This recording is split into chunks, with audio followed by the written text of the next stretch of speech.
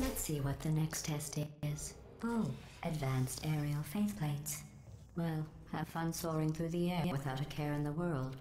I have to go to the wing that was made entirely of glass and pick up 15 acres of broken glass. By myself.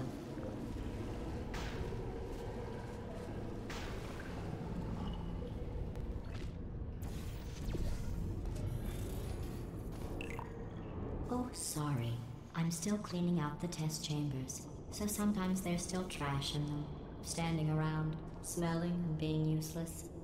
Try to avoid the garbage hurtling towards you. Remember, you are faster than everyone.